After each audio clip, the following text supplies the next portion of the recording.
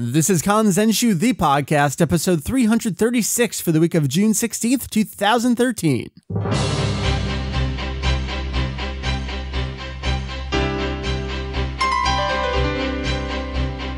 What up, ales? Welcome to Kanzenshuu, the podcast. an extension of the all-encompassing Dragon Ball fan site. Kanzenshuu. We cover anything and everything Dragon Ball in hopes of enlightening and a little bit of entertaining, gracing us two episodes in a row. I'm so happy. Mary, how you doing over there? Oh, it's weird being in the basement two weeks in a row. I try to avoid it when possible. Well, to be fair, no episode last week.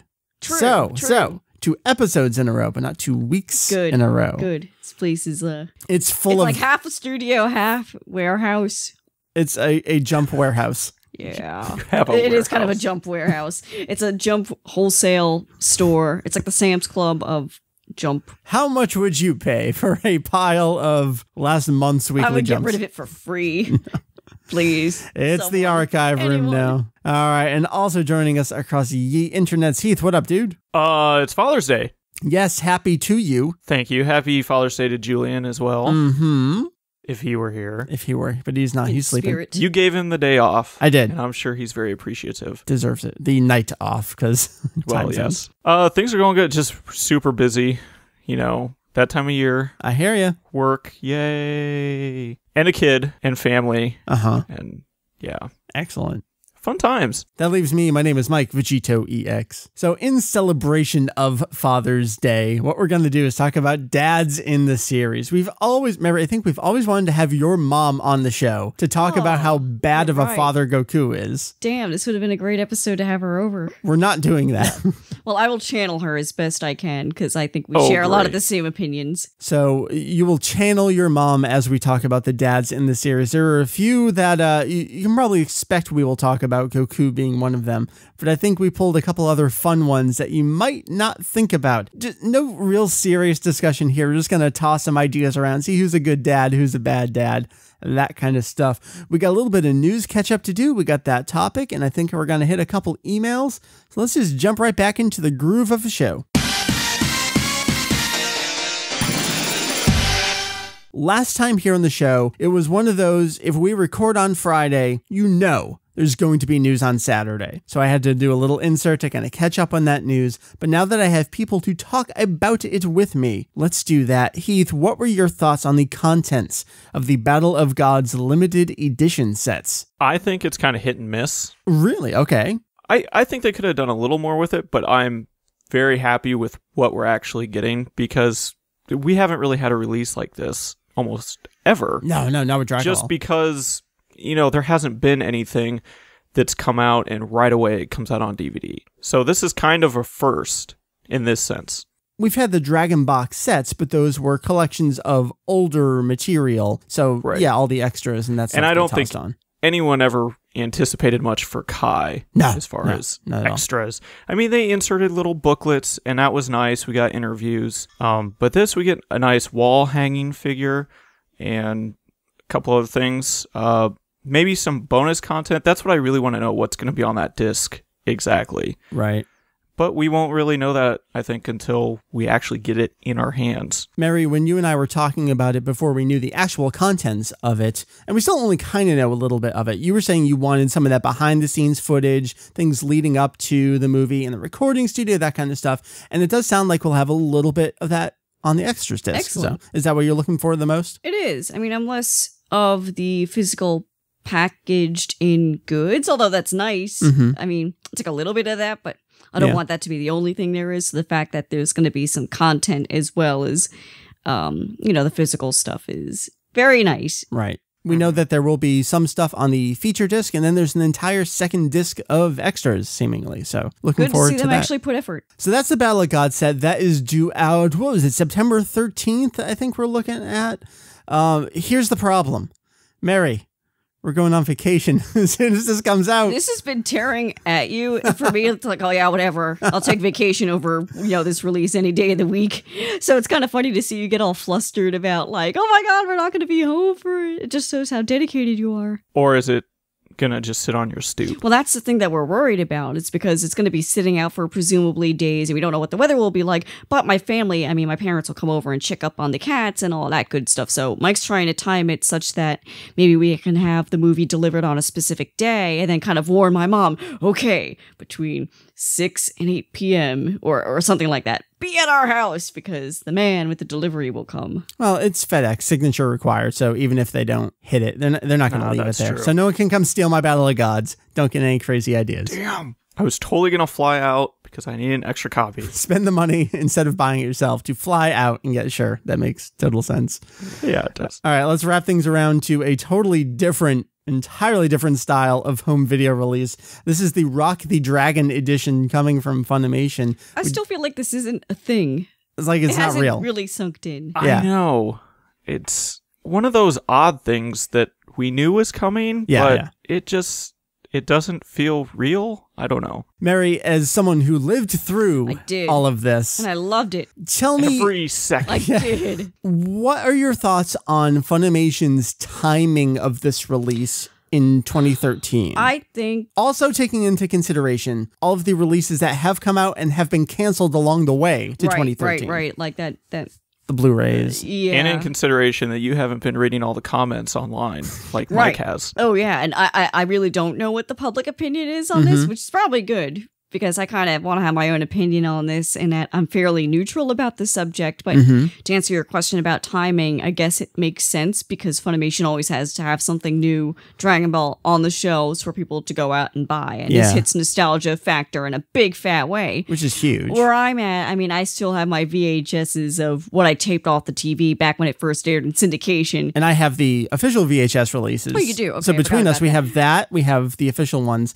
I only have a couple of the DVDs. I didn't buy the entire DVD run of the 1st dub. So for us, it's kind of like, oh. It's it like, not- makes yeah, sense. We're not hurt. Well, I was going to say for this household, we're not hurting for these releases because we have them in, in various forms. Some more convenient than others. right, but to have uh, just a one DVD collection, that makes sense. So it's the whole stretch of what was it, 52 episodes? 53, yeah, plus the three movies, yeah. Okay. What? Okay. For my ignorant ass Yes. self, what is public opinion on this release? Uh, it seems anyone who's our age is like, oh, that's cool. Yeah, I'll probably buy it. And anyone that did not live through the voice change is like, ah, the voices suck. This is stupid. I like Funimation. Not realizing that this is Funimation, Funimation, who right. made this. It's just not the voices. It's Ocean Group. Right. And don't get me wrong, some of the voices do suck, and uh, uh, you know we we're guilty of the nostalgia factor where They we probably nostalgically suck. yeah exactly kind of like how you know fans of the other dub you know I, I don't know if they're that self aware but have the nostalgically suck kind of Yeah. yeah. feelings about it. It's weird to be talking about English dubbed releases here on the show, mm-hmm. but because this was part of the thing that kicked our age bracket into overdrive with the series, it's an important piece of history. And I think it's good that Funimation's releasing it. I'm not sure that right now is the best time, but if not now, when kind of thing? Hmm. When could I don't be a even good know time? if there is a real good time. Yeah, yeah, I think it's just a well, we have it. We might as well just put it out. right. Is- Make a couple bucks. But it's weird because it is something they could have done, you know, ten years ago. yeah, they could have done it whenever, but there was. But they had to worry about sales ten years ago. Yeah, I mean, they were still coming out. yeah, they're they're doing that part of the series itself, and now it's so far removed, and who knows what the plan is for the remainder of Kai right now. So it's like it kind of said, seems like they're almost banking on the nostalgia factor. I mean, I Of think at this point you have to. Right. I don't think there's any other way around it. you're not going to get new fans coming into No. this set. So, Unless they accidentally buy it.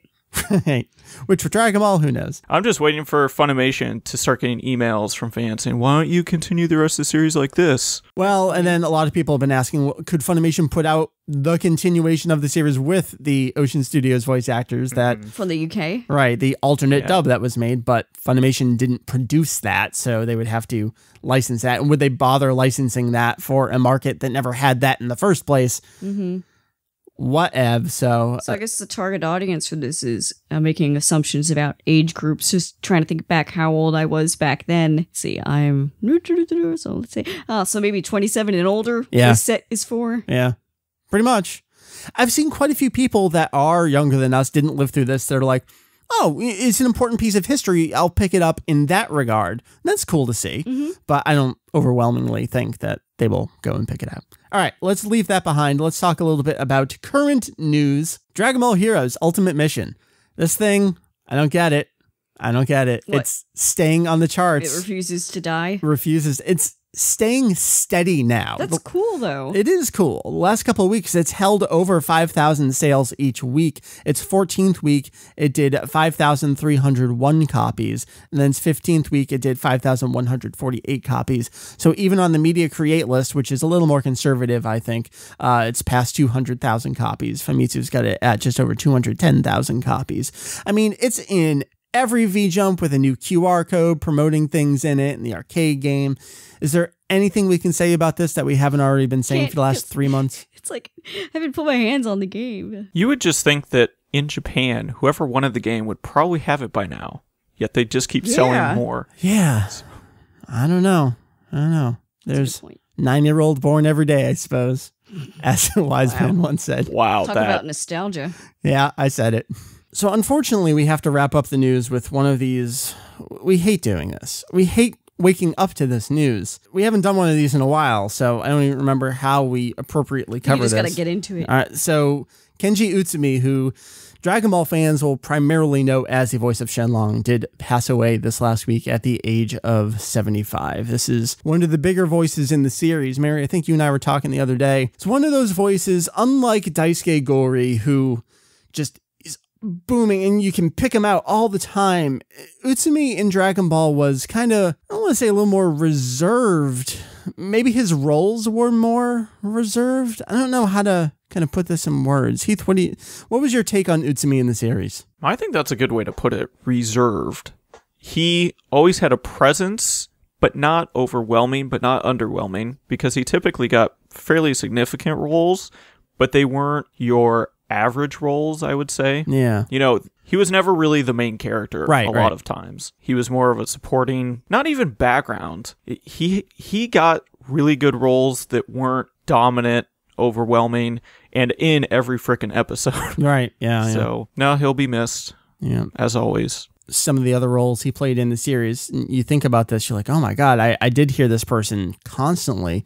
He played the Tenkaichi Budokai announcer for the uh, first TV series, 21st, 22nd, 23rd tournaments. Uh, he also played Commander Red. He did Mutaito, and then he did Rikum over in the uh, early Frieza arc. Uh, just pretty wide variety of roles there. You've got kind of the reserved, stoic master kind of role, but then you go to Raccoon. He's who's- like off the wall. Yeah, silly. yeah. He, he's saying he's got that weird cackle laugh, and then he says "Veggie Chan." It's just that's that's that's acting, man. Did a great job. And what uh what did he pass away from? Uh, there was some kind of Cancer. cancer that he had going on. Um, yeah, not good. Cancer's the thing. So, um, Utsumi, another one where he did all these roles in Dragon Ball, but he played so many other characters and so many other things. He, he was in everything of the day. Uh, and Toriyama related, he was Senbei in Doctor Slump. So, uh, of course, as I noted in the update right now, we've got Discotek who just announced that they're putting out the first five Doctor Slump movies. So, if you're looking to hear Utsumi in another kind of role, very different from his Dragon Ball roles. That's a, a great one to check out. So Kenji Utsumi passed away at the age of 75 this week. The voice of Shenlong, among others. We will miss him. So there's no appropriate way to transition out of that. So I will just let the bumper music take care of it, and we'll go over to our topic. This week we're talking about dads. Heath, you and Julian, you're the dads. Grads. That's Dads right. grads. what grads do we have? Gohan? God, he's a great scholar. He went to Harvard, man. That's about it. It's the only one we got. Uh, so I kind of want to just toss some names around. You can tell this is one of those Mike came up with the topic idea at 11 p.m. last But I night. like But I talking think off it's a great like that. topic. Yeah, yeah. It is Just fun. shout out a name and go with our gut. Like, what's the first word that pops in your head? is that the way you want to do it? To Like, dad. initial thoughts? we'll, we'll kind of do like the first word that pops into your head, and then you know we'll expand. Go on off it. on But I kind of want all of us to go off of our gut reaction. Okay. About the characters. So we'll do that. I will toss out a dad to marry you and Heath you, and I want to get your that gut reaction, one word or two words. What do you think about him? Then we'll kind of toss him around a little bit. So, Mary, start us off. I think the number one dad in the series, Dr. Brief. Irreverent. Irreverent. All right. Heath, what's your uh, initial take on him? Um, geniusly perverted. That's pretty good. Now, Dr. Brief, what I love about him, especially very early on in the series, I forget, was it right after all the Pilaf stuff or whenever Goku goes to visit the family? Both him and his wife are like talking about openly cheating on each other and they're just kind of doing Oh, in the whatever. Red Ribbon Army. Yeah, maybe around there. Yeah, it was Yeah. Red Ribbon. And Bulma's just like, don't talk like that in front of me. It's just they don't they don't care. They're And it kind whatever. of seems like he lets Bulma do whatever she wants. Uh-huh. He's like, that's nice, dear. Seems like the cool dad, I guess. He's- a, a he- little, a little um freewheeling. So Capsule Corps Hands is off the party dad. house when she's in high school. Exactly. They have all the kids over. Oh, come on over, have a drink with us. Yeah. Is that kind of dad? It's like He's got like the want. maid robots, this weird fixation with a cat. yes. He's got Star Wars posters all over the place. Uh, he knows the police apparently. So Seems kind of like a, a hippie that's gone straight, but still likes to Maybe. Keep he that has side. kind of the fathering attitude of I don't care what you do as long as you don't get arrested. yeah. but if Pretty you much. do, I know the police, so it'll be okay. I Right. he's always guys. smoking. Yep. Absolutely. yeah, I forgot about that. Smoking what though? Oh, see, Oh. that's a good question. He's a hippie. Again, keeping in that old style there. All right, let's move on. I think that's all we can say about Dr. Brief. Here's a fun one. Mary, first thoughts when I say Piccolo Daimao. As a father, sorta. Like, wait, Piccolo Daimao? Yes. As in, as Demon Dragon King Ball? Piccolo, yes. As in the wrinkly old one? Yes. As a father to the Mazoku, but also to himself in a way. I can't come up with the right word to eat. I'm trying to say like he uses his kids. Uh-huh. What's the right word to describe using? Manipulative? Selfish. Sure. All say those things. Um, manipulative. never there. Never there. Never there for them. All right. Uh, Mary, give me some more. What, what do you think about the way he treats his children? I wish I remembered more about that. I've only ever read it once, and I don't remember if I watched it. I probably watched it once. yeah, I think you and I watched it once. Definitely Um, Well, read it. he seems very emotionally attached because he gets really pissed, like when Tambourine dies. right. He can feel like it that. when they're killed. Like he knows that a part of him has kind of been ripped out of him in a way when they But at the are same time, every time they die, it's because he sent them off on a mission to kill people. Exactly. Which is why I said manipulative. Uh huh. like they're really only there to serve his purposes. Uh huh. They seem happy to, but I guess they're all just evil. So whatever. I never really thought of him as a dad. No, well, that's why I tossed it on the list. Yeah, it's very different. And Ma Jr., I guess you could think of him as betraying his father Right. because he was supposed to kill Goku. And they end up becoming the best of friends. I'm not going they to take listen car to my classes dad. together. Screw you, dad. I'm going to go off and do my own thing. It's kind of what Yeah, it that turns sounds into. familiar. Except Smoke cigarettes and, and drive cars. Yes. Stupid and wear my hat backwards or maybe forwards. I'm rebelling, Dad. Uh, but then we do get that Piccolo. No, I'm I'm still Piccolo Daimao, and he bursts off. And who's standing there with him? Is it Kuririn? He's just like, oh, that's so cute. He thinks he's still evil. Good times. All right. I don't know how much else we can say about him. Let's go over to some of the larger, more important dads in the series. Let's go over to Vegeta. Mary, your thoughts on Vegeta as a dad? Initial words, phrases. All I can think of is just tough. And I wish I had a stronger word than the word tough. Okay. Badass. Badass. He's a badass dad. All right. Heath, anything other than badass? Um, oh gosh. There's a word I want to use, but it's probably not appropriate. Um, we'll, we'll just say hard. Okay. We'll Hard to please. All right. Because, yes. Not ma- impressed. Well, I was going to say emotionally and physically. Uh huh. You were gonna say abusive. Yes. That is what I was going to say. Uh, all right, Mary. So a little more. You- You're saying he's a very tough dad, but as we see very late in the series, we we kind of get this hint of it at the end of the Cell games, Right. But then at the during the Boo fight, we do see Vegeta is a loving father in some capacity. He has a weird way of showing his love. That's why I say tough, because that's what he kind of evolves into from being very distant and, yeah, I don't care. You're just my spawn, whatever. Mm-hmm. To, okay, I want you to actually be, you know, a good fighter and He's getting up jealous of. Goten's. Like, you make sure you beat that kid. I don't want to lose to his son. but I'm gonna put you through the ringer, Yeah, you know, yeah. to get there, so you can be all you can be. Let me take you a little earlier, Mary, to the end of the Cell games, like we were talking about. We had all that buildup of Trunks. like, Why didn't you save me when was it Gero or nineteen was shooting Right, up at him? baby.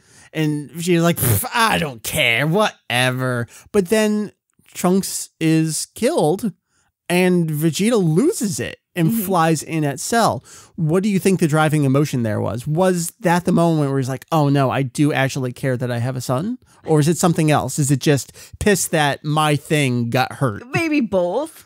I think he was acting maybe on a subconscious level. Okay. Maybe he, he himself was surprised at Mm, how he went overboard yeah. at that moment. Hmm. Hmm. All right. Heath, what do you think about Vegeta's transformation into a quasi loving father? I think he had to learn it. Yeah. I think it was I learned it from watching you. Yeah. Well, you know, we see throughout the series all these backstory shots of King Vegeta Yep.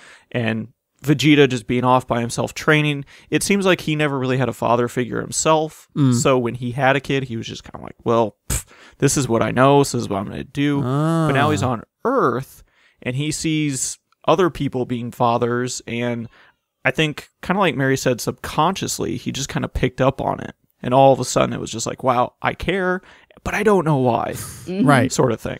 I mean, the whole thing with Majin Vegeta was him trying to suppress all of his actual emotions and almost convince himself that he doesn't care when his caring is struggling to break free from the charm there. That's Mhm. it's an interesting dynamic. I mean, we talk how Vegeta kind of turns into this lame character over the course of the Frieza into the Cell into the Boo arc, but I think there's some interesting stuff I still think Vegeta is probably one of the most different fathers that we see in the series oh, definitely. Mm-hmm.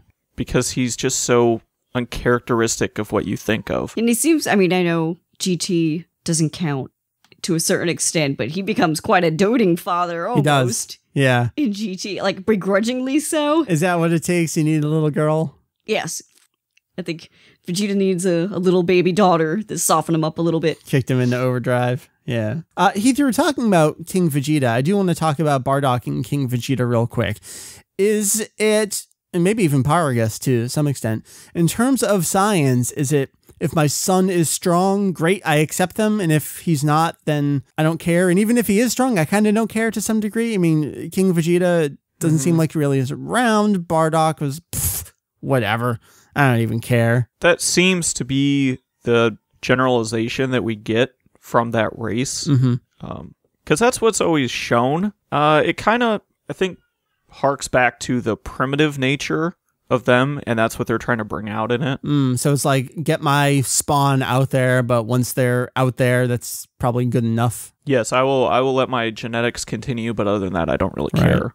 How about Paragus? I mean, he seems. I don't know if it's. Uh, he, that's tough to put into words. Like Well, that's almost driven mostly by revenge, it is, and almost just self-preservation in a lot of Yeah. ways because he sees. and then it's ironic that his son kills him. yeah, yeah. So So that's fun. Yeah, I hope that doesn't happen to me. That'd be nice. if I get crushed in a sphere, you know what happened. You heard it here. All right, let's go over to leave these brutal dads behind. Let's talk about one that I almost forgot about. Kuririn. He's a daddy. I did forget that one. I totally did too. he seems like, okay, the word I come up with in my head is involved. Yes, you think he's uh, a good stay-at-home dad? I do. He's involved in her education and her activities. Maybe more the activities. Yeah. I have a sense that 18 probably helps with the education. Okay. Heath, what do you think? Savvy. well, I think 18 helps with the disciplinary She's the disciplinary side of things. Yeah, yeah. And Kuririn's just kind of the, Yeah. the fun father that's there. And yes, dear, I will go play. When it's the kind of situation when Marron wants to do something, she'll ask her dad instead of asking her mom because dad's probably going to say yes. Exactly. Yeah, I think that's the kind of family they have going. on. Whenever I think of him as a father, the image that always pops in my head, at least since it came out, was from the Jump Super Anime Tour special Uh-huh. with the redone Chala yes, opening. Yes. And they're just out playing in the sand. Yep. and- Yep. Yeah. I that I think is perfect of what their family environment is like. I think what we have going on is, as we saw in movie 11 and also in the TV series, 18 is just extorting Mr. Satan. So they have Mm-hmm. this incoming limitless supply of money. They don't have to do anything. So he's just hanging out on the beach with his daughter. Why not? I'd go Yeah. as far as saying that he's probably the best father. You think he's the best dad in the show. series? Now that I think about it, probably. Sadly, probably. All right. Let's uh oh, oh, I don't. I have one for the list. Okay. I don't know if it's on your list. All right. I'm going to put it out there. sure. Because I forgot about Cadet in Ox King. Oh, you're oh my god, Yep. you're right. I totally forgot about him too. That's on my mental list. All right, so why don't I give you my thoughts since I forgot about him? Um, I'm gonna say for the early part of the series, recovering. And Recovering? the reason I say that is because You make him sound like an alcoholic. maybe he is. I mean, he lost his wife, and he's still trying to deal with that, but he's got his daughter who seems to just go out and do her own thing, whatever. And his palace is on fire, and he's just trying. He's just trying to get by. He's a dad in a tough position. He's just trying to make ends meet.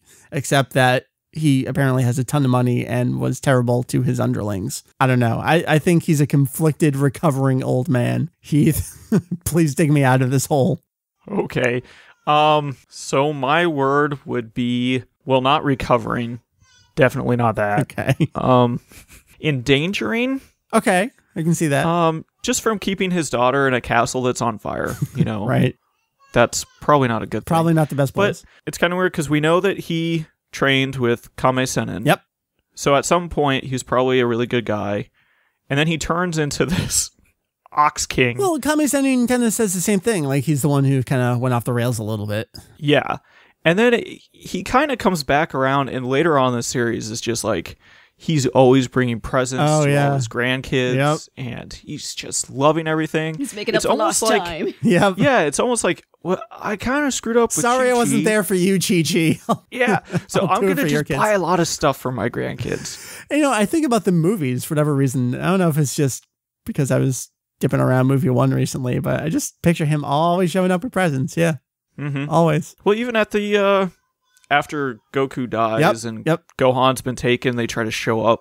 He's just hanging out there. Yeah. All right. Yeah. So we kind of crossed over into grandfather territory, but that's okay. He's maybe not the best Well, dad, but tried to one make of up the for few it. characters. Well, I guess I shouldn't say few, but one of the ones that you really think of more as a grandfather Yeah. than a father. Right, right. So here's another character that you kind of think of in a grandfather role, but technically he's the father to over a hundred, and that's oh, Saichoro, the great elder on planet Namek. What do you think about that? I mean, very different from Piccolo, where he's spitting out minions. This one, he's kind of trying to repopulate his race. Mary, mm-hmm. Saichoro as a dad, Wise sage. wise sage, greatest of heaven. Beloved. Marlon Brando. Marlon Brando. Heath, what were you saying? I'm too distracted by Mary. I said beloved. Beloved. Okay. All right. Someone else. Keep the conversation going here. What do you think about it? Is there anything else to say about him? I mean, his whole role is to be that father figure. Yeah. Like he's everyone is to learn from him. He has to set an example. Uh huh. He, you know, makes the tough decisions, He does. Self-sacrificing as well. he's self-sacrificing. He did sacrifice Nail in a way. She's like, you got to go. Sorry. Send you off to your death. But Nail. Nail. Let's not. Let's not. That's not the real series. That doesn't count. But uh I think I think he was good. He was a good dad. He, everything he was doing was in the best interest of the race. It's not a little distant almost. Maybe but that's because He's he trying couldn't so stand hard up. being perfect that you don't really get to know him. He him. couldn't stand up. Yes. Is that what you Yes, said? that's what I said. wow. I'm sorry. Have you ever seen him stand up? No, I don't exactly. want No. to. I'd be scared. He would just fall over. All right. Uh, let's keep it going with a little bit of the funny dads before we wrap up some of the serious dads. Dr. Gero, Mary. Who is he the father of? In a way, he gave birth to definitely 16 and 19 of the mechanical variety, but he was the true father in a way of Cell. And then he, you know, brought 17, 18 in. So we'll say Dr. Gero, let's just say just the father of Cell. There are so many words that could describe him. All right, Mary, give me one or two here. Dr. Gero as a father to Cell. Misguided? Misguided, okay. Heath, what do you think? I'd almost go with just stupid. Just dumb dad. I mean, you're bringing these things that you can't even control into the world to get revenge. What what do you think's going to happen? I mean, but then at the same time he's manipulative trying to get them to, you know, especially like number 17, 18, Uh-huh. even though apparently we're not counting them as children now. Well, but- taking his children away. Yeah, what- you can count anyone you want. Yeah, I. But I mean, he makes explosive devices and put this, puts them in them Yep. and says, if you don't do what I say, I will blow you up. Never mind the fact that they're infinitely faster than he is, apparently. Yeah. Just swipe it. So I guess hellbent is a good way to describe him and just gets the better of him. All right. Do you guys have any other dads before I we get to the big one? I do. All right. Who else you got? Mr. Satan. Mr. Satan. That's a great choice. I don't know how I forgot about him. He's both a dad and a granddad. I know. Maybe I was thinking about him more in the grandfather role, uh, specifically in GT. Uh, I don't remember. Maybe it's Super 17 ish, them at a restaurant having ice cream together, and he's just doting.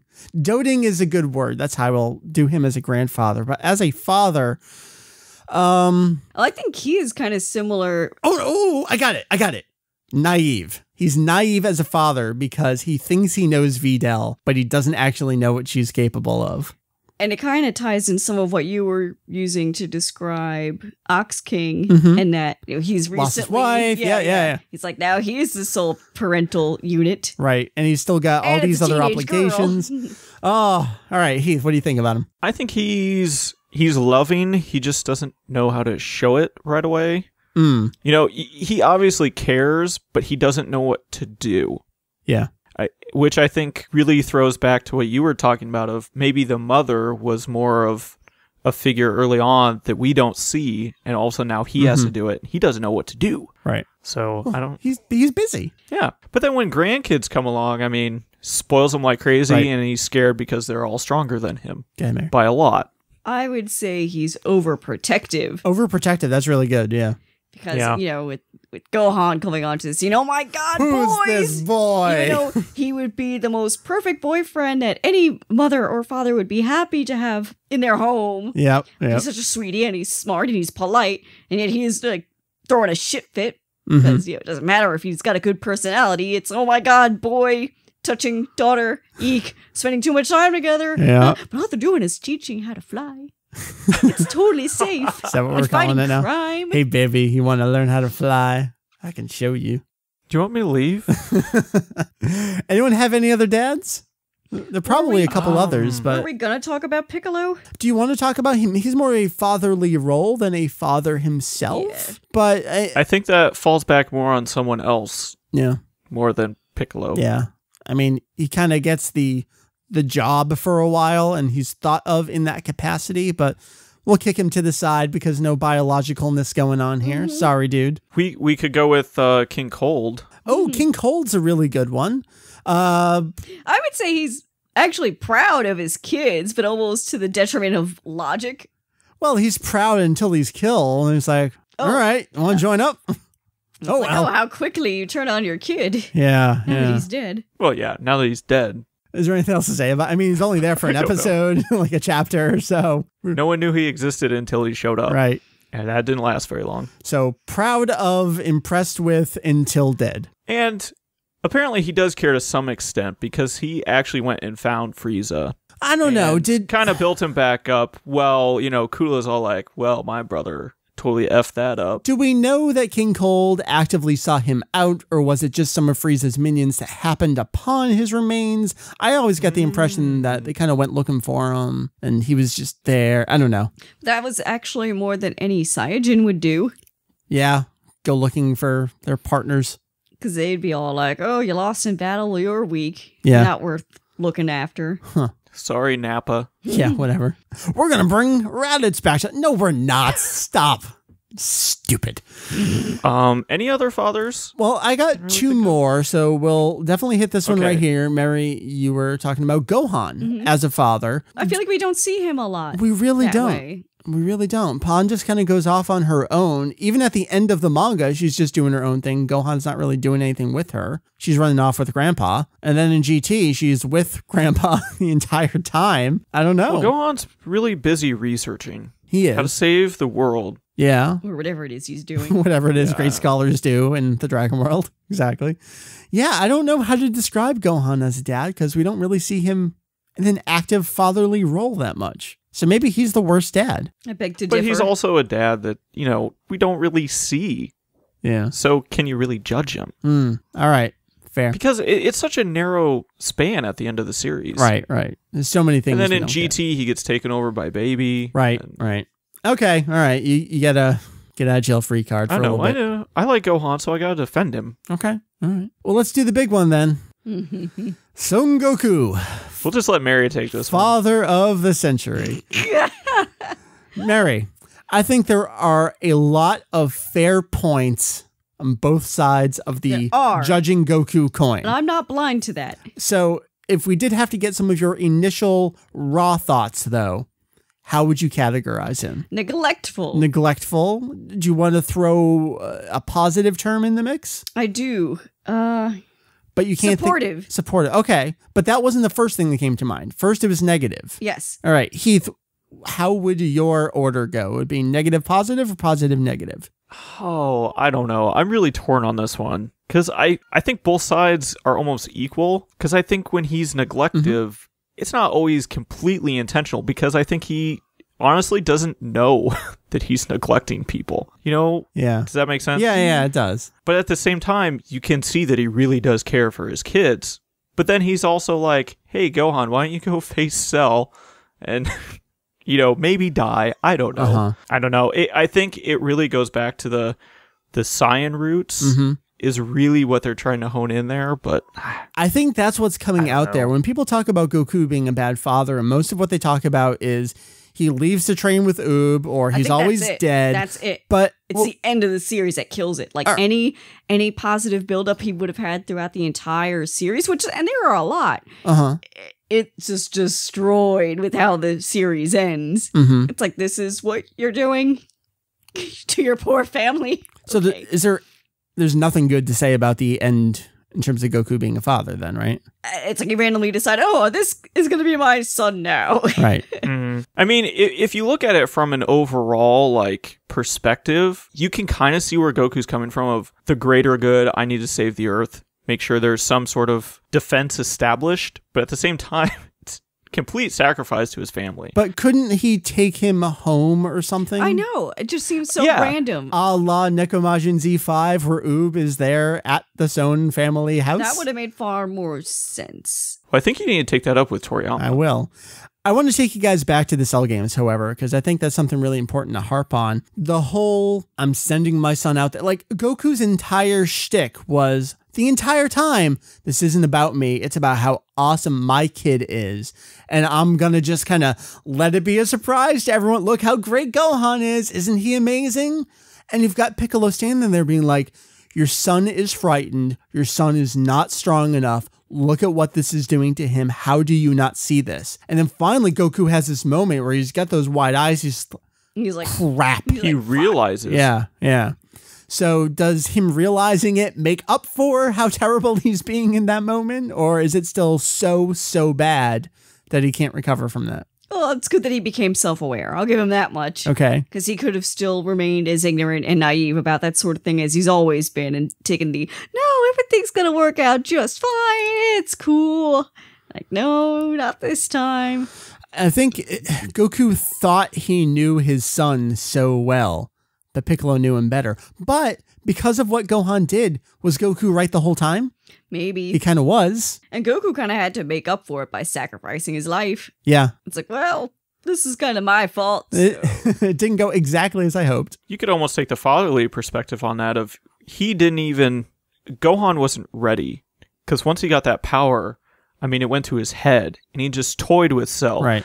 Almost like Goku as a father didn't show him how to harness it, how to control his power, Mm. keep his motions in check. That's true. Goku was so, So- concerned about getting to that power, and he was controlling it himself in the Room of Spirit and Time. We saw him with the stage two and stage three really understanding what all of that meant and what it was going to do to their bodies and their state of mind. And he sort of explained it to Gohan, but he didn't show that to Gohan.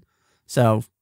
Bad job, Goku. I'm wagging my finger at you. Bad job. Bad daddy. Anything else we can say about him? But I mean, these are all the bad things, I- but Um, there's a lot of love There's there. a lot of good stuff, and I think one of the best examples of Goku as awesome dad, completely awesome dad, is in that filler arc in the anime before, the, cell, games. Yeah, yeah. It's like they're out fishing and hang and a birthday party. Like, oh man, Goku, you decided to take this one week to be the ideal dad. I disagree. I think all of that was just his tactic. We have to stay Super Saiyan. True, but he's kind of killing two birds with one stone. He's multitasking. Is he enjoying it? If he enjoys it, that means he's being a good dad.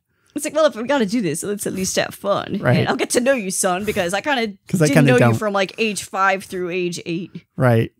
At all. Well, then you've got the Goten whole thing of, well, I'm pretty much dead Right. the whole beginning of your life. And the first time you meet me is at a tournament to fight people. And you're frightened of me, but I will hug you anyway. That's a great scene. It's just It's it's cute. It's more a Goten scene than it is a Goku scene. Because then Goku leaves again. So Goten really doesn't know his dad No. at all. But it's kind of weird because it gets played off as though Goten really loves him and he kind of does know him. Mm. I don't know. It's weird writing, I guess, right there. Toriyama can't show emotions. Not No. not counting the filler arc that we were just talking about. I guess the best time Goku is a dad is at the beginning of Z, Yeah. where he's like fighting for Gohan. He's trying to protect him. Um, but then it all kind of shit hits the fan after that. It seems like Gohan probably had a really good, you know, first couple years of his life. Yeah. I think he did. yeah. Then Raditz showed up. Thanks, Uncle. Ruined that my all went life. downhill. All right. Does that wrap up our discussion on dads? It does. Well, I, you could almost. No, I won't go there. We we could throw Toriyama into the mix. No, let's not. he's a father. I feel like we don't know anything about him. Well, we know enough after reading some of these old interviews. Yes, we do. Oh yeah, you mentioned one of them. The I'm so perverted that I want to dot dot dot. So blank. Toriyama is a subject for another day. So what we're going to do before we wrap up this episode, we got a couple emails actually. Let's answer them. Keith, uh, this is mostly for you and I. This is from James. Hey, Kanzenshuu crew. I was looking through some old issues of the American Shonen Jump, the July 2006 issue, and I noticed an interview with Toriyama in the issue. I know you have translated interviews on the site, but do you have interviews with the American Shonen Jump somewhere, or were these just taken from a Japanese issue or guide? Thanks.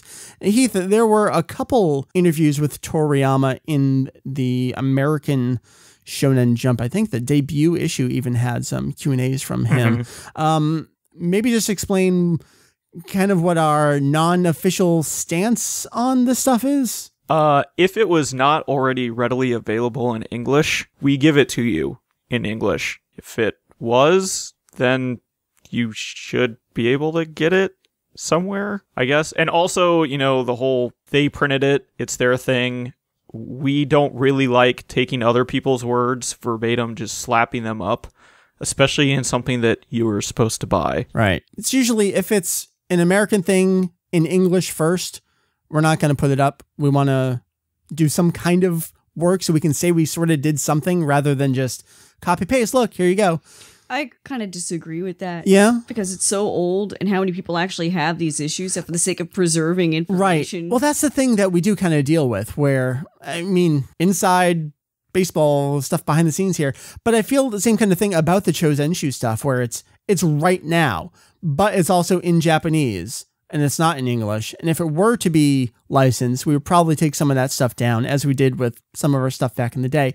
Do you think there's a point you hit is it five years? Is it ten years with American Shonen Jump stuff where you do want to archive that? Because I we want to be an archive, but at what what point does it cross over into not okay? What do you think, Mary? it depends on how hard it is to obtain this stuff Yeah, and the market penetration of said content. right. It's weird. This is stuff we think about when we post content, and there's no real well, answer. and then you also run into the other things of what about other countries? yeah, right. I mean, how, where do we draw the line? Just because we're located in the U.S. and everything is in English, does that mean that we have to also do everything that came out here in English? Well, we want So- we want everything eventually, so we'll do that Yeah. eventually. So I'm still unclear as to whether Yeah. or not those interviews in Shonen Jump were just translated Japanese interviews, or if Shonen Jump in America went out to him for an interview. Uh, I think one of them was a Shonen Jump original. Uh, I th- I was gonna say it's kind of half and half. yeah, yeah. And then I don't know if this was the Dragon Ball Collector issue. I can't remember, but I believe one of them is a reprint of his interview in Daizenshuu One, if I remember well, correctly. they also did Daizenshuu one, so that exists. It's weird. So those are kind of our thoughts. No real answer. Uh, let's go on to another one here. This is actually on Facebook. Raul says, "I'm currently listening to the podcast special on all the video game music. What a long ride down memory lane! This is amazing. If time allowed, you guys should totally do a special on the score to the series. I know I've got my favorites. Oh my gosh. Uh, Mary, you talked about it last time we were here. Heath, did you listen to the whole episode? What'd you think of it? I loved it. Yeah. It was really good. It's always neat to hear everybody's perspectives, you know. And I liked in the previous podcast, you guys kind of like recounted what happened Mm-hmm. uh, after you came back from amazement, and I totally agree with Mary. Of we were all living kind of like the same moment, and it's weird how all of our experiences are almost kind of the same, Mm-hmm. but in a way, everyone was doing the same thing. The internet was the same for everybody. Right. It was a smaller internet back then, so we were all Yeah. visiting Dr. Gero's laboratory. We were all visiting Susinshu. So it was it was really it's always fun to go down memory lane like that sometimes. Yeah. Cuz even you yourself kind of forget things and you, Mm-hmm. it all kind of comes back to you. Uh, I mean, Greg talking about the stuff in the back of magazines. I mean, I always remember that, but hearing someone else talk about that brings me back to that moment. It's like, oh, yeah, that's totally good. So thank you, Raul. We will definitely do another one. Uh, tons of people, the younger audience, are like, I loved it. Let's do the next generation of games. I That would want in so on the next one. That would be cool. So, no promises. I think what my plan will be because I want to do these kinds of episodes. I can kind of work on them leading up to something and kind of put it out when we're away. Maybe September, That'd be great. I think. That'd let's be awesome. let's look You at give me time to think of an answer because I'm not. that next generation I, I of games. definitely have like songs that I like, but nothing hits me the way that that previous generation because Uh-huh. I wasn't working on my site really when um you know, the- the- 2002 onward. that generation of games were out so I have nothing to tie me back to oh well I was listening to this song a lot while I was doing XYZ it was just that like It was it more was just more like Mike's playing the music in our games. house Yeah. if anything, it's more like, yeah, we listened to this music while cleaning the apartment back in like 2005, 2006, You mean 2007. Last week, Uh, yeah, last week. um, you were loving the Budokai 3 soundtrack. okay, you know what? I think that's going to be my story. Okay. All right, save it. Focus So on that sort of thing. that's uh, potential plans. I think what I would like to do next is the uh, revival generation of Dragon Ball video games, 2002 onward. Uh, and we'll try to get some younger folks on the show there, sharing some memories as well, because I think that's important. Uh, and then maybe we can dip into some other stuff. So there you go. We got one more question. Mary, this is sort of for you in a way. Don't have a name to go with this one here. Uh, hey, Kanzenshuu team, I had a question for you. I was wondering if you were planning on covering the Harmony Gold dub of Dragon Ball for a podcast episode in the near future. I would really like to hear your opinion on one of the first English dubs of the first part of the series, even though some of the things that exist of it is a dub of both movies one and three. A little confusing at the end there, but yeah, I mean, Mary, this is one of your oldest claims to fame. It is. Um, did we not talk about this on the podcast? I don't I would find it extremely hard to believe that we didn't touch upon it at some point. We have, but I don't think we have done. This is the episode where we dedicate a topic to it. We should. We totally should. And I am so thrilled that I have a copy of that. Movie three, you have, yeah. Yeah, I should have. Co- I had access to movie one. I do not know why I did not copy it. I think it's because at the time I was like, "Oh well, it's just a recap of the first thirteen episodes of the series, and I don't want to waste a VHS on that. I know the story well enough." Right. And in hindsight, I'm like, "God, what the what the f? What was I thinking? I needed this for, you know, all time." Yeah. But I can't even say that I, I am the one that saw it on TV or anything. I got it from a, a friend who, Right. you know, she went on to help me join, uh, to help me form the anime club in high school. Um, So she's the one that taped it off the TV and then loaned it to me so I can make a copy of it. Right. You know, I put up some of the funnier audio clips on my website. So it was, Wait, wait, what's the lunch line about spaghetti or something? I hear the lasagnas to die for. That's it. Yes. And I did that so accurately, it really frightened me. yeah, you took me back there, Heath. Uh, I mean, we'll do a real topic on this at some point. I don't know why we haven't. In the what, have we been doing the podcast for like seven years now, eight years? Heath, have you ever seen it? I have never seen. Oh my it. god, we'll have to. I Get your think, copy. Uh, Mike, did we ever take the VHS and convert it? Yeah, I, I digitally? converted it. Yeah, I thought, okay. I've only I've seen clips. probably from Mary's site. Yeah, I. That's about it. That's like the best non trunks content I have on my website. And what's funny is that no, it had nothing to do with trunks. But you're like, I have it. Nah, it was like, I got some rare shit, y'all. good stuff. This is for the world. All right. That's going to bring us to a close. Mary, thank you for joining us talking about daddies. That was great. Who's Thank your you daddy? for having me on the show. Who's your Who's your Dragon Not Ball daddy? If you had to choose, here, Oh, we'll wrap it okay. up. If you had to choose a dad, you want, all right. He'd be so fun. All right. Thank you. He, thank you for joining us. If you had to choose a dad from the series, who would it be? Doctor Brief. Dr. Brief. Uh, so that leaves me. My name is Mike. If I had to choose a dad, I would go with Gohan because he's never around. I can just go do whatever the hell I want to do. No repercussions. But Doctor Brief gives you all sorts of money. I know, but he's kind of creepy. I think at the end of the episode, we have lost Heath. Mary, can you tell the kids where they can find Kanzenshuu? You can find Kanzenshuu online at K A N Z E N S H U U dot com. That is correct. Get on their forum, which is pretty big, if I'm if I understand correctly. And It's a place- Facebooks. Facebooks, the Twitters. I think Heath actually is still updating the Google Plus, so good on him. Wow. All that stuff. Um, that's it. We're gonna bring this to a close. This was 336, I think it was. So we'll check it back in a week or so. 337. So for all these folks, again, my name is Mike Vegetto EX. Check you later.